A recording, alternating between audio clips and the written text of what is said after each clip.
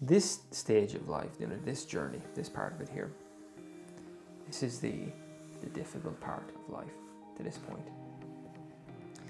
And when we get to this point, it's like something changes in life. And now this is an ascent back in the other direction. We're coming back to who we really are to begin with.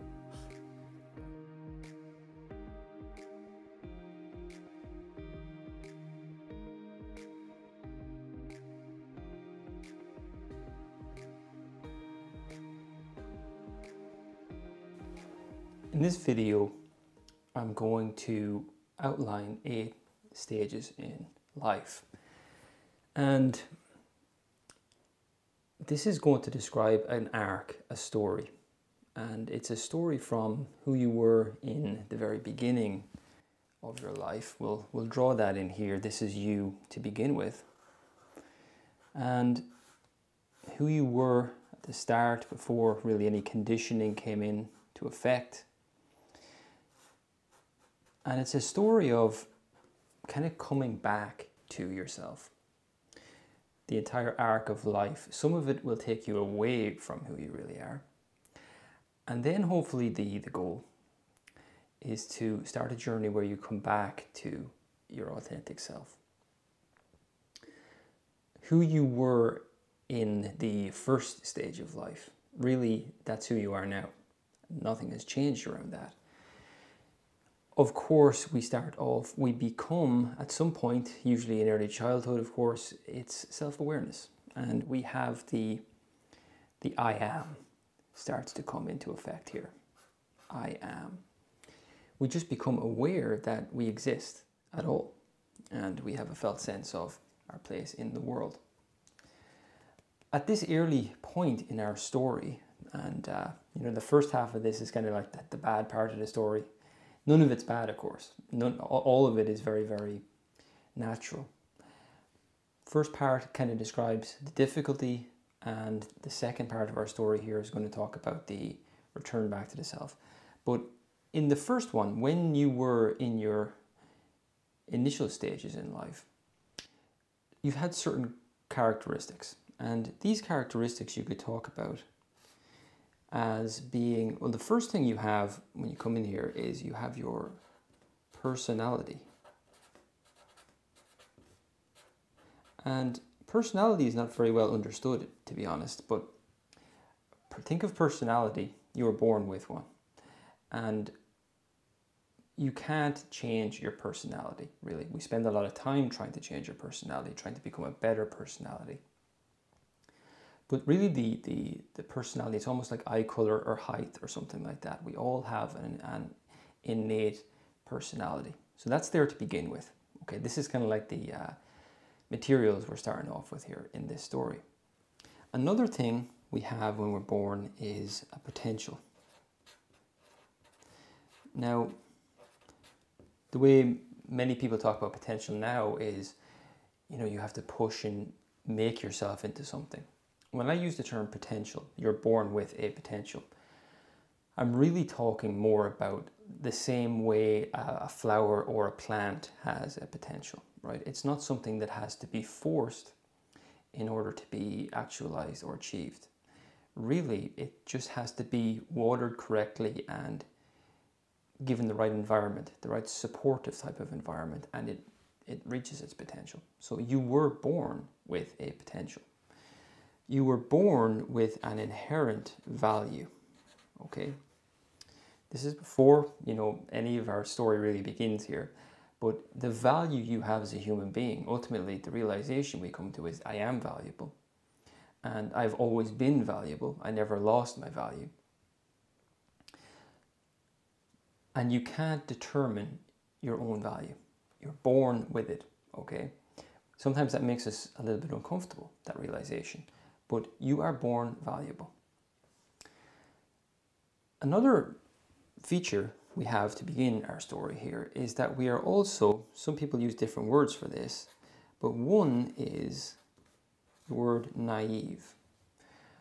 Other people have used the word innocent. Okay, so really we are self aware to begin with, usually very early in life, maybe around the age of two or so. And we have this, well, I am, I, I have a place here. But we have no idea who we are. Okay? And it's this arc of this entire story is going is going to be like a journey through figuring out that question really who am i fundamentally right i am but i am you know we'll, we'll get into that what exactly am i and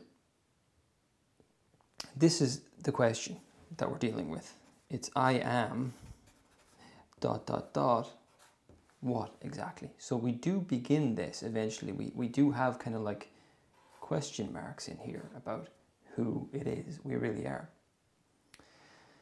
Now, I mentioned the first few stages here, the first kind of four stages in life are quite challenging stages.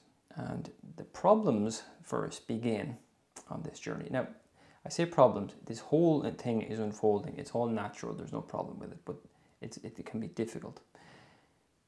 We entertain what are known here as false concepts. Okay, F-A-L-S-E, false concepts about ourselves. Going into our first period of our lives, okay?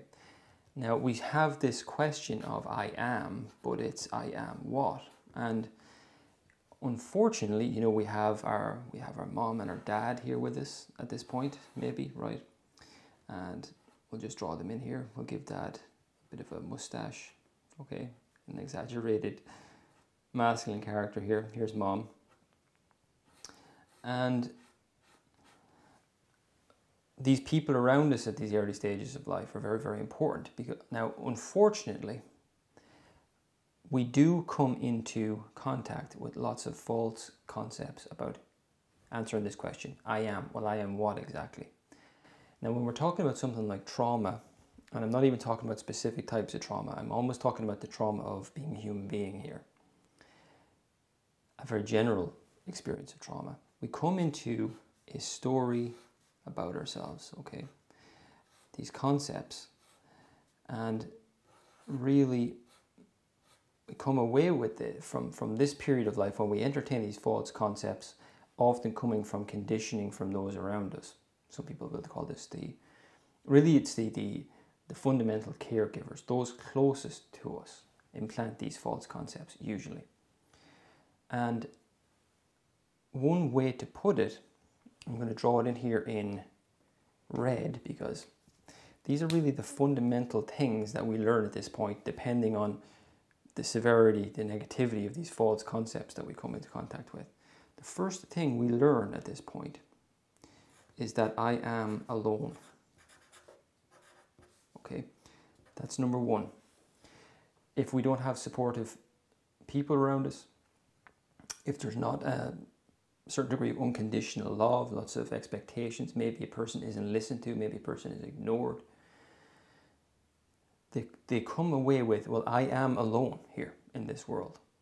I'm by myself. There is no one here for me to connect with.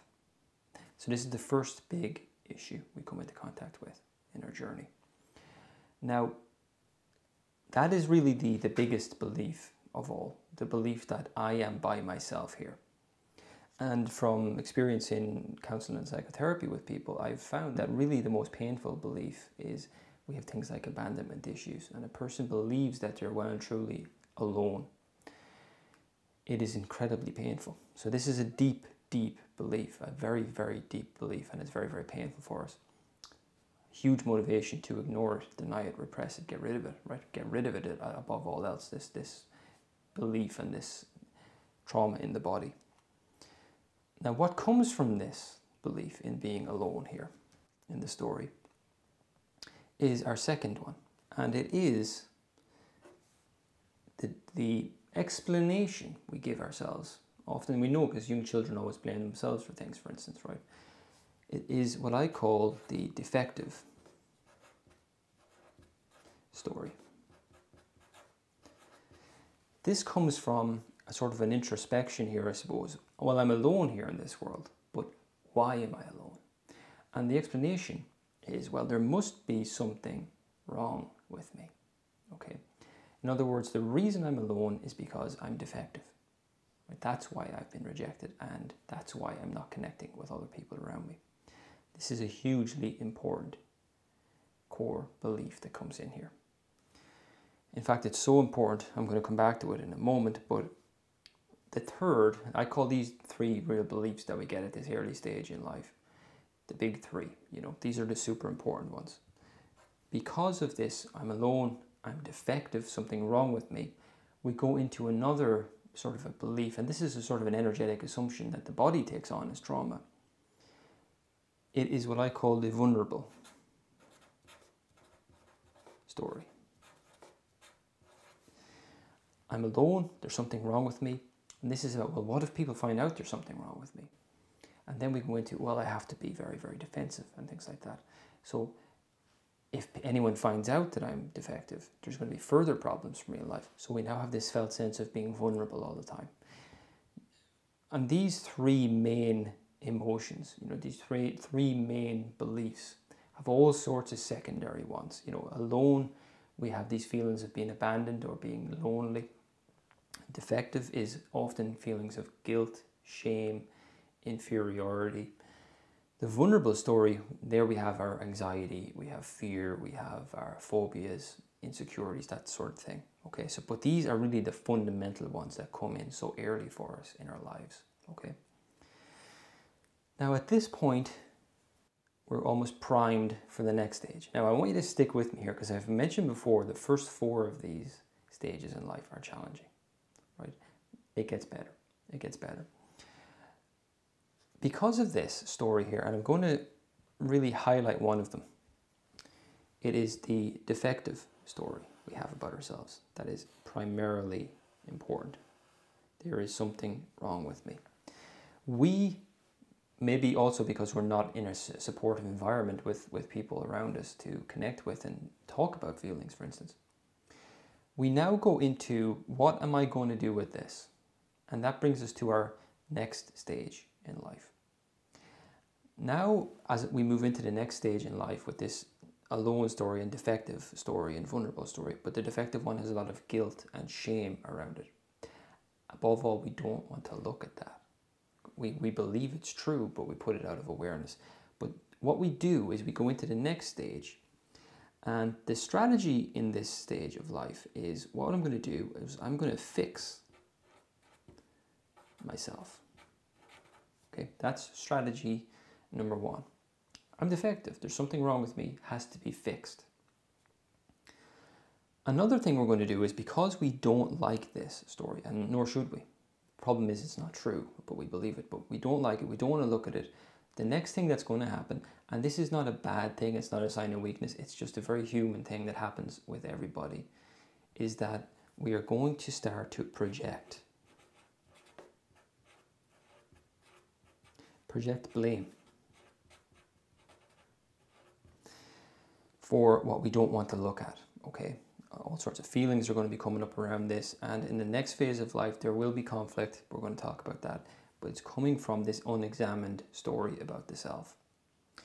And the last strategy here, as we enter into the next stage of life, is that we we need to, we believe we need to defend ourselves. It's Very important we become very defensive because of this defective story. We don't want anyone to look at it, feel very, very vulnerable. We think there's all sorts of things we need to do to keep safe. So that's the strategy coming in here. And the real main story of this next phase in our life, we could put it like this, put it in a different color here. This is the period in our life where we are going to project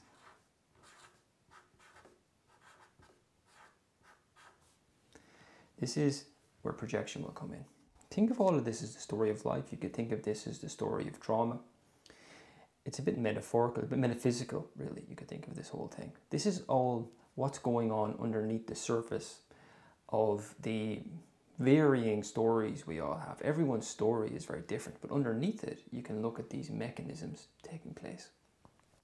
Now, when I say project, well, what we're going to do is this story needs to be gotten rid of.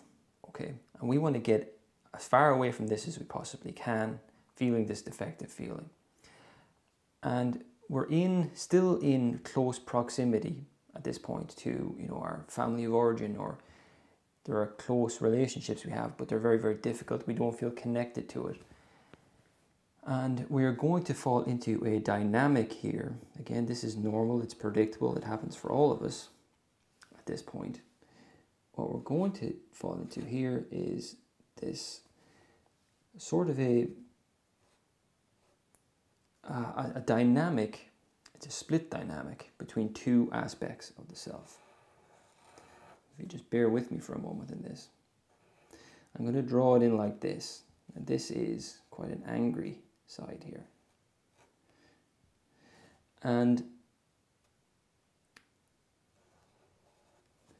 we have two aspects of the self here. Now this one here, again I'll put it in in red because this is kind of a dysfunctional or an alarming phase, but it's one that changes.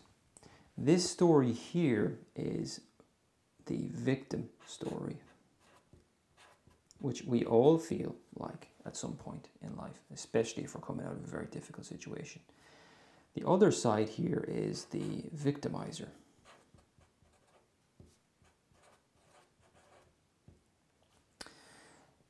Another way to put that is we have the fearful aspect and we have the guilty aspect. What we're doing here with these feelings of maybe worthlessness or something is we rationalize them and we project them onto somebody else close to us.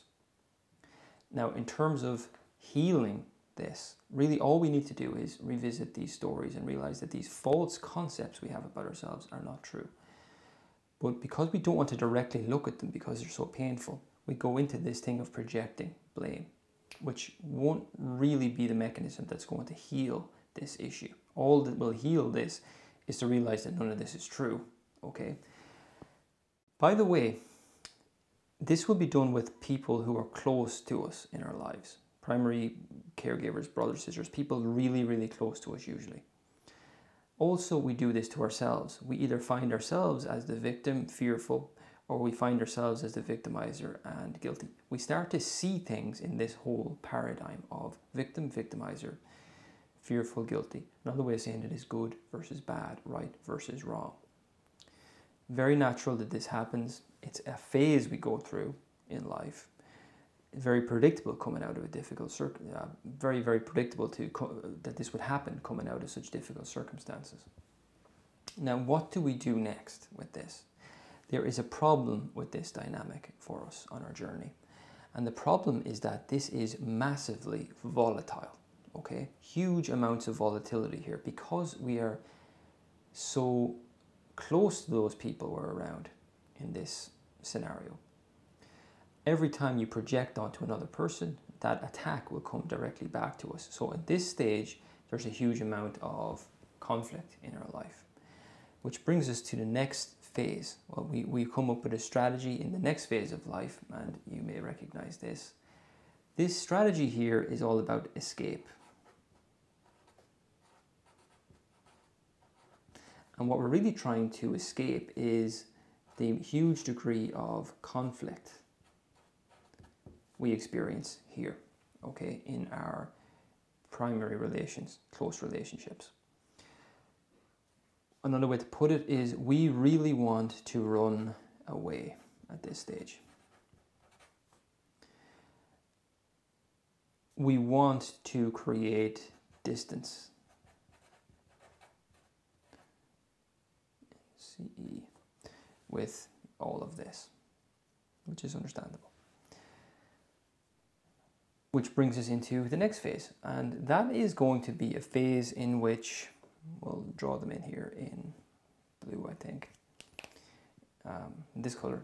We'll, we are going to escape this. Now, remember, we haven't done the one thing that needs to be done at this point, which is re-examine and, and let go of this whole story, of these big three, of these beliefs of being alone defective. There's something wrong with me, because there is nothing wrong with this, and vulnerability But now we branch out into the wider world, you know, and we have all sorts of new people outside of our smaller network of relationships we previously had as we branch into the world. Many, many new people, many, many new relationships that we're going to form. This looks appealing to begin with. Here we have we have all sorts of friends. We have bosses. Okay. We have teachers, we have you know lawyers, we have you name it. Psychotherapists, everything. Now really we are still in this strategy of trying to get rid of a feeling of being defective. So we are still essentially projecting. We are projecting out our own inner emotional experiences as being caused by other people's behavior. Okay. A lot of this, this seems like it's got to give us a bit more relief from the conflict that's here because the, the, the closeness of the relationships is now gone. But what's happening is we're still projecting and over time, we will begin to realize that this doesn't work either. We project onto all these other people, and there's all sorts of conflict down here, all sorts of projections going on. And there is a big problem with this. These projections cause all sorts of emotional cut-offs, lack of connection, big problems. Eventually, more conflict finds us here. This could also be things like um, politicians, okay, societal, wider societal problems. So we are still explaining our, our, our emotional reality, our emotional disturbances and difficulties because of other people. Interpersonal relationships are, are really the main aspect of it in this. And that's going to bring us to our next phase over here, which is really as bad as it gets. Okay, after that, their healing process really starts to begin. But I want you to realize here that again, the whole arc of this story to this point here is to get away as far away as possible from this belief in that we're effect- defective, okay? Because we don't want to re- look at it again, really let it go. In this stage of life, what we do is we realize, okay, look, it doesn't matter how far I get away from people, I still feel bad. And there's still lots of conflict, there's still lots of blame, and I still feel really inferior inside or I feel vulnerable all the time. What we do here at this point is we do another thing, and that is distract. We distract ourselves. How do we distract ourselves? Well, we'll put ourselves in here at this point, here we are, in this stage, with distractions, what we will do is, well, we're going to maybe, it's time to build a house. It is time to start to make lots of money. There's nothing wrong with these things, by the way, but this is what happens. Maybe we think it's time to really, really study hard and get a good qualification. Okay, maybe we get into various relationships. Okay, relationships can be used as distraction. We are, in other words, what we're doing here is we are filling our life with all sorts of obligations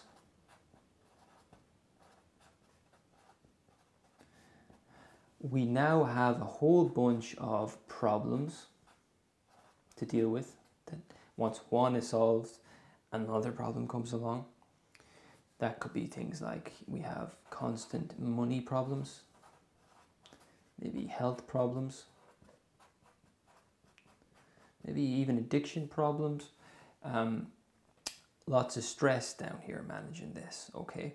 But really, what we're, you could describe this phase of life on the arc, the lower arc of life, the descent, if you like, as a coping mechanism or a defense mechanism from examining this story that I am defective somehow. At this point, things begin to change sooner rather than later. Usually, when a person is ready to start questioning these, these stories, they start to ask themselves a few fundamental questions about their life. Okay, the first of this is a question like Is this all there is?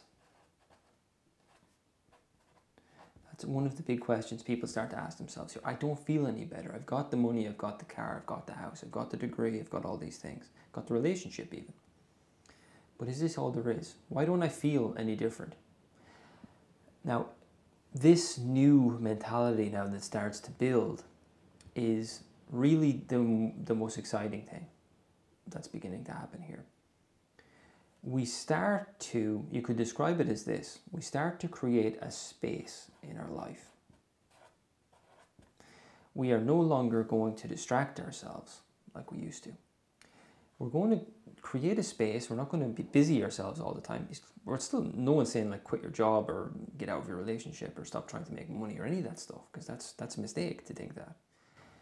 But you do have balance. You create a little space in your life to start to look at some of these issues, understanding what's going on for me emotionally here. Because nothing I've been doing up to this point has really changed things. Another way to put it is, is we, we start to develop self awareness here we start to develop an inquisitive mind into how our, our emotional life works, really. Another feature of this part of our life, and this is, I've done a whole course on this, on, on uh, personal productivity and things, but with, with external obligations, we start to put in boundaries. We start to put boundaries. We say, okay, that's important, I'll take care of that, but it's not going to interfere with a part of my life, a space in my life where I'm going to some sit down and do some maybe inquiry or do some more deeper level work on myself. Now, this is sort of the mirror image of this, okay? And what we will notice here is that before, you know, here we, we had distraction and here we now have space. Here we had all sorts of projection onto other people in interpersonal relationships. And what we have now is the first thing we do is, well, we still have all these people to look at, right, in our lives. They're not going anywhere. All these people are still around. We still have interactions with them. We still engage with them. Whereas before, we were, there was projection going on, there was conflict, there was attack we start to really get curious about what's going on for me in terms of my interpersonal relationships. And we start to form genuine connections with other people around us rather than blame or projection all the time or simplistic explanations for who this person is or why they did what they did, right? So at this point, you know, we had lots of projection and conflict. Up here, we are going to start to get to work. We're putting a boundary, and now we're going to start to get to work on healing our immediate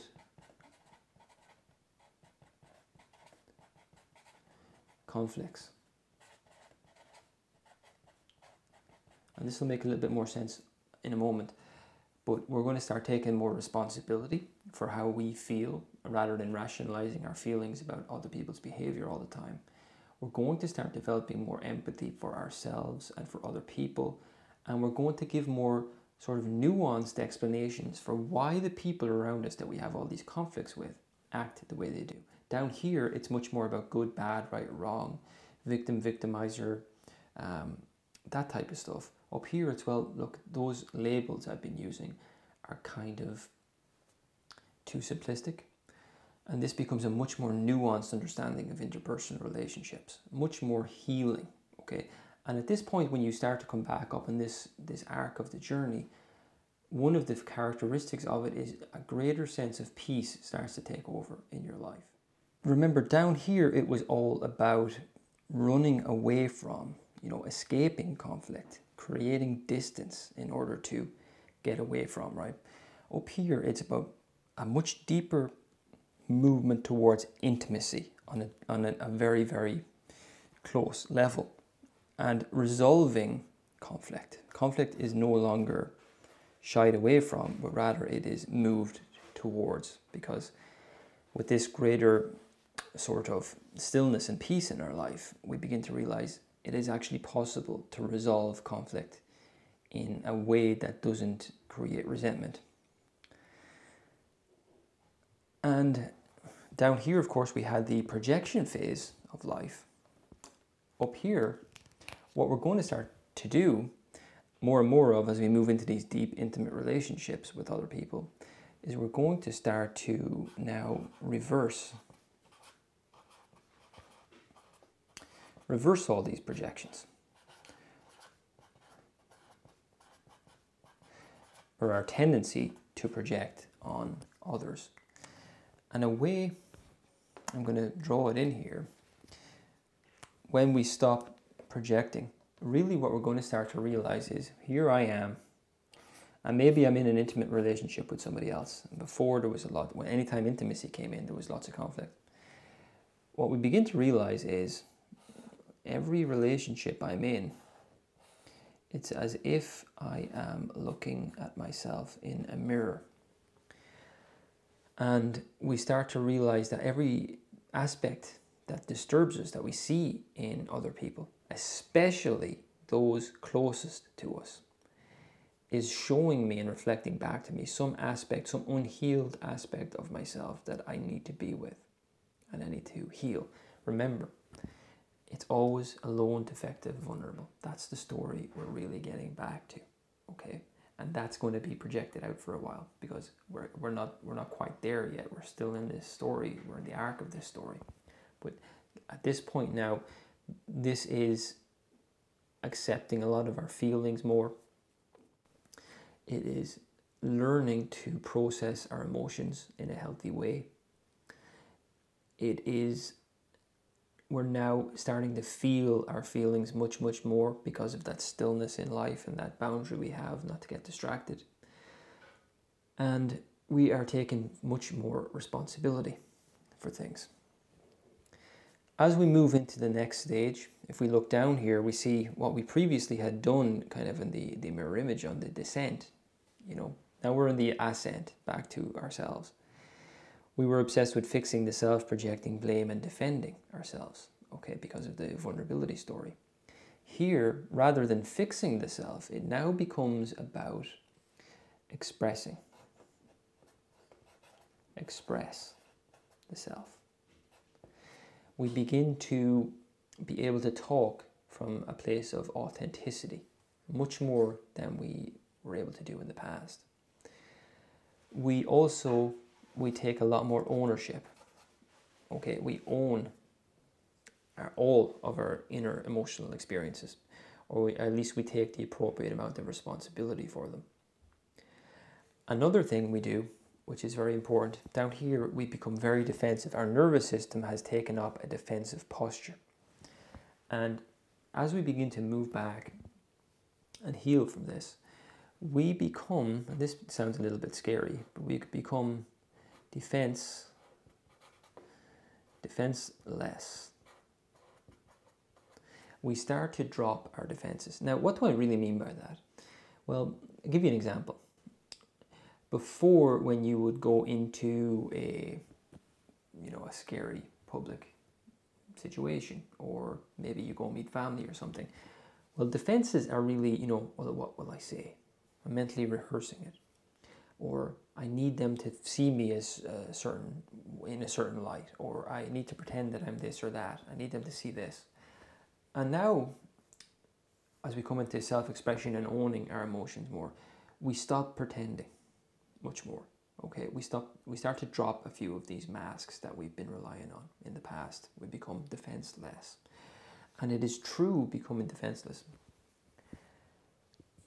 really we convince it at that point because we are brave enough to, to, to experiment with being defenseless that we find out for sure that there is no need for defenses. It's actually safe. We're, we're really teaching our nervous system at this point, which was terrified to begin with, felt very vulnerable, that you don't need to take up this posture of defensiveness because when you take it down, you're safe.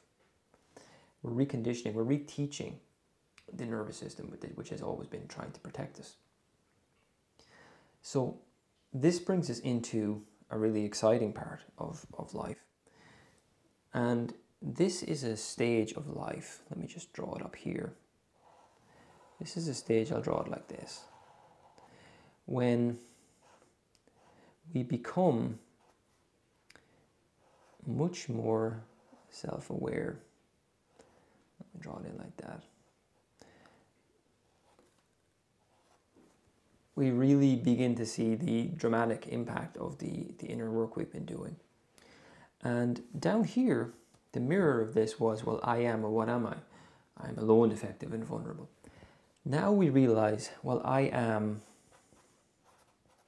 I'm not any of those things, okay? Rather, I am,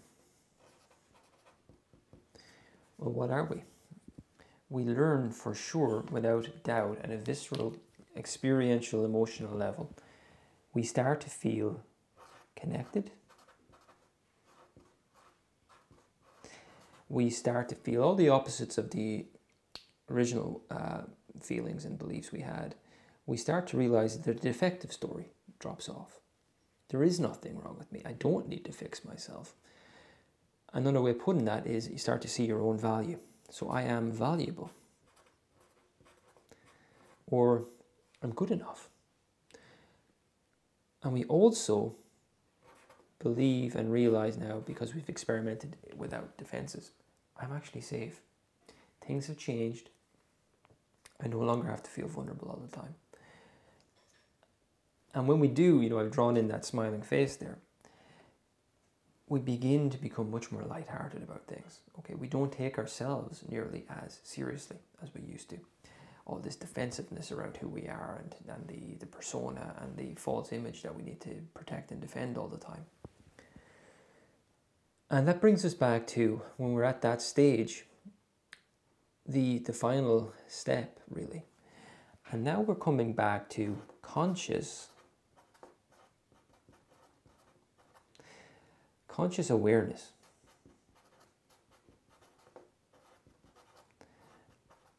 Of really the purpose of all of this, of who am I? Okay, the difference once we, you know, we started off at this point, and you know, it's that thing of when you get back, you'll realize you know you're, you never left. In the beginning, yes, you knew you existed, but you didn't know fully. There was no self awareness about who you were.